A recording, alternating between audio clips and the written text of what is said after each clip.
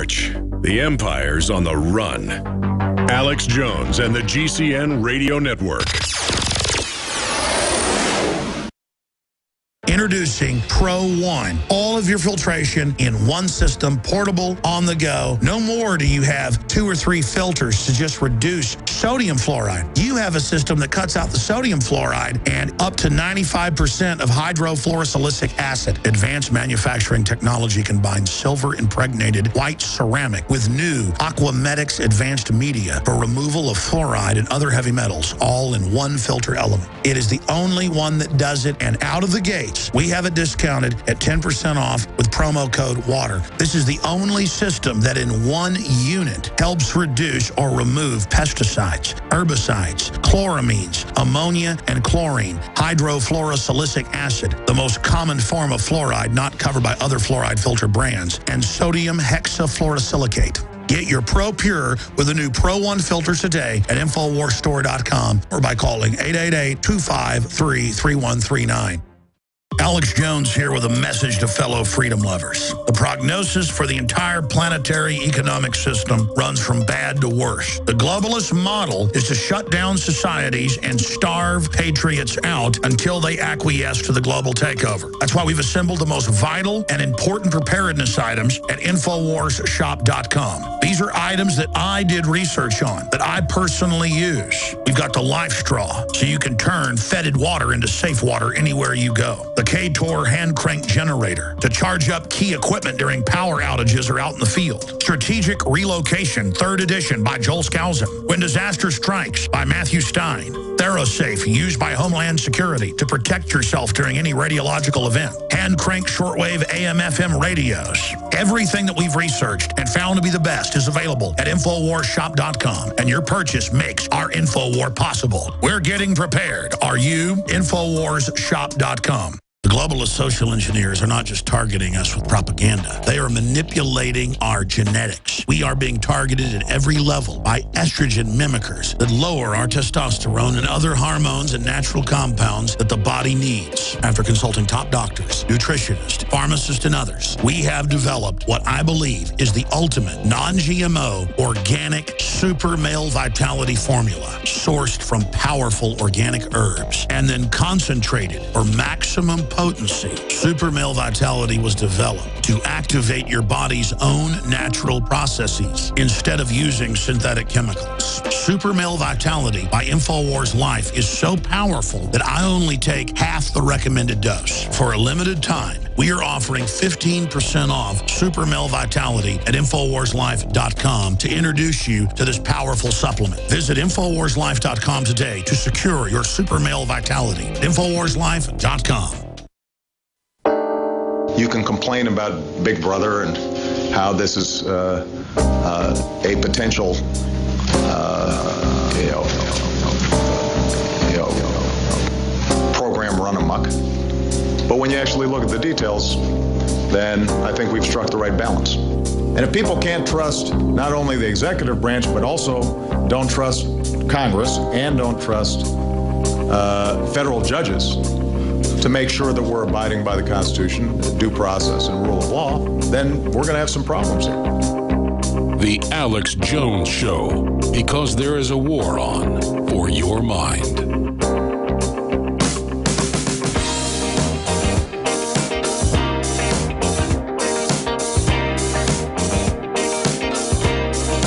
Dr. Richard Stallman is our guest. We're going to go back to him in just a moment in this long segment and, and get, him to break down what he's saying. I mean, it's so simple, but it's also so important, and nobody thinks about it. The software controls you. And almost all the time when it doesn't work, it's because of the surveillance application. And by the way, we've bought all our software here other than the Linux GNU stuff that a lot of our stuff runs on. I'm no tech guy, but a lot of our guys are, you know, big uh, fans of what Dr. Stallman invented, the GNU system that's known as Linux. But expanding on that, it just, I mean, I, I buy a monitor in, the studio and want to run video through it. And we've got to break into it and jack with it. You can't even buy them commercially that don't do this. You have to get specialists in and pieces of equipment just to run the video you want over it because it doesn't see the code from the cable or from the, uh, the, the Blu-ray disc telling you that it's authorized. Where I bought a television about eight years ago that had a DVD player built into it. That DVD player broke. So I had an old DVD portable one in the garage. I plugged it into that in the garage so I could run on the treadmill. And it said, no, this device isn't authorized, copyright. And I deal with this all day long. And I've had software companies send us lawsuit threats, pay money, we know you stole the software. And I call the lawyer up and go, I we bought all our software. He goes, well, our system's picked up that you might have some stolen software. We're going to drop this. And the guy hangs up, and I call back the law firm, and I go, no, you're trolling to scare people to see if I'd send those, that money. And he goes, I'm not going to talk to you, and, and you know, it, hangs up. It, it's like Getty Images will send stuff out on Twitter that you can embed. And clearly, I've talked to lawyers. In the law, they've embedded it. They've made it embeddable. You can have it in your article because it's not on your site. It's their Twitter photos they put out and don't even tell you don't use them. Then they send you letters saying, give us a bunch of money. And most people crap their pants and pay them a bunch of money. Dr. Stallman, I'm ranting. It's well, just that this stuff really frustrates me. I'd like to add to your rant, if I may. Yes, sir. Um, you're talking about DRM, digital restrictions management, which is found in some malicious hardware like those monitors and Blu-ray and DVD players, and also in software. And in fact, often it's implemented by the firmware inside the product. Now, that is a malicious functionality, and it ought to be illegal. But why is it in there? It's in there because the software is non-free, because the users don't control it. If the users controlled it, they would fix the software so it didn't maliciously restrict them. So if they want, if their goal is to attack you by imposing restrictions, they have to first attack you by making the software non-free. Now, I don't think there's anything virtuous about paying for an authorized copy of a non-free program. You see, what's bad about the non-free program is that it's non-free an unauthorized copy of a non-free program is a nasty thing because it's proprietary, because it's non-free. It's almost as bad as an authorized copy. But and so I won't use either one. I reject them on principle. No, no, I totally agree. My point is we play in their system and then they still come after us. Yes, they do. But please don't repeat their propaganda terms like stolen. They say that because they want to demonize sharing. But sharing is good. What's wrong is trying to stop people from sharing, what they're doing. Quantify your view on that and explain the difference between uh, hacking, which they've demonized as a term, versus criminal uh, breaking into computers. Oh, well, these are two different questions, and I can explain them both, but not at the same time. So point is, software should respect your freedoms, and there are four freedoms you should have. Freedom zero is the freedom to run the program as you wish for whatever purpose. Freedom one is the freedom to study the program's source code and change it to make it function for you the way you wish. Now, those two freedoms are enough to give each user separately control over the program. But this separate control was not enough because most are not programmers and don't know how to exercise Freedom 1. They don't know how to study and understand source code or change it. So we need more than just a separate control. We also need the freedom to work together and exercise collective control, which means any group of people or companies or both, whatever, any group of users should be free to work together to adapt the program to do what they want it to do and then offer copies of that to others if they wish. And that requires two more freedoms. Freedom two is the freedom to redistribute exact copies of the program, you know, copy it and distribute the copies to others. And freedom three is the freedom to copy your modified versions and distribute those to others. Those two freedoms allow the members of any group to work together and change the program to do what they want. So if you don't know how to change software, but you wish the program worked differently and it's free software, there will be others who are programmers who also would like it to work differently, and they'll change it, and then they'll make their version available to the public. And if they don't do this soon enough, you can join with other non programmers to raise money and pay somebody to do it. Because there is business in the free software world, you know. People are getting paid to develop free software. And to maintain it and to tweak it. And exactly. And you, so you can, if people want to pay you, you can take money to do it. You can also do it because you just feel like it. Uh, those are, free software doesn't mean it's gratis. It doesn't mean nobody's paying anything or nobody's getting paid for anything. It means we all have freedom. Anyway, the other issue you brought up was that was that of hacking, and what does hacking mean? Well, it's one of those words that's had many different meanings. Uh, in the 1970s, when I joined the hacker community at MIT, sometimes it meant figuring out a clever way to do something a computer. And sometimes it meant a prank.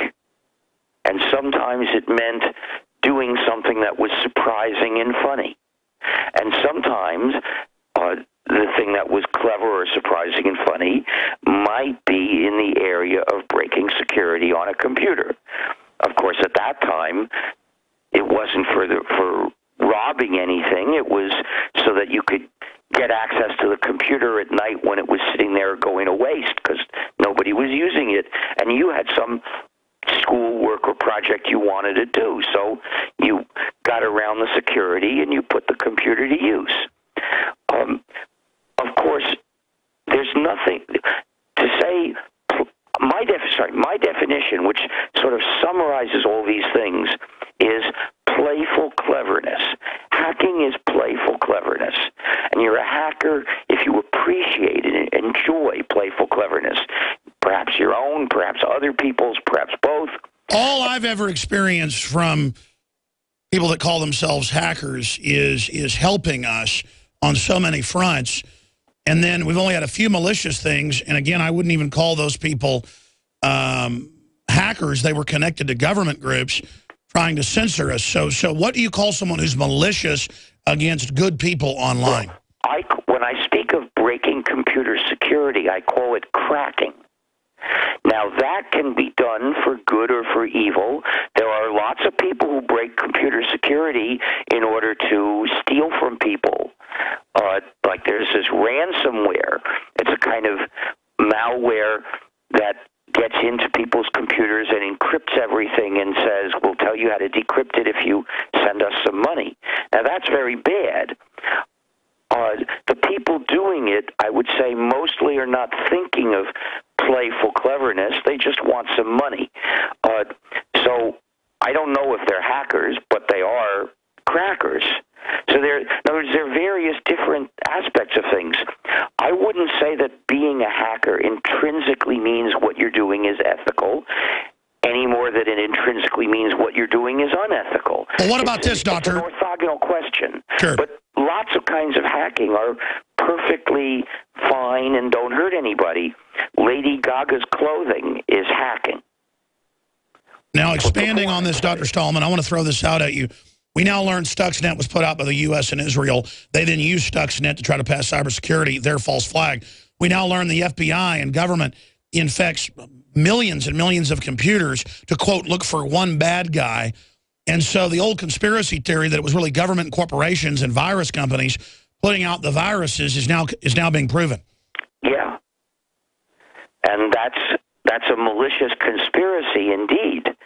Uh, it's I don't know. I mean, maybe a little of it is hacking. A lot of it is cracking, breaking security.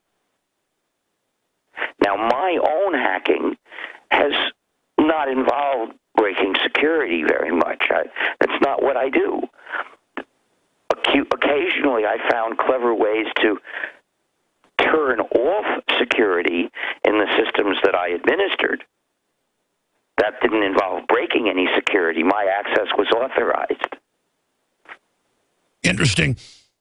Let me ask you this question. Uh, back to the subject, because I don't think you had time to get to it. The phenomenon of what Aaron Swartz was doing and what happened to him, what is your overall thought on that tragedy? Well, from what I've read about what happened, it looks like some people at MIT when they saw that there was a laptop that was downloading lots of papers from from uh, JSTOR, I believe it was, uh, they They didn't know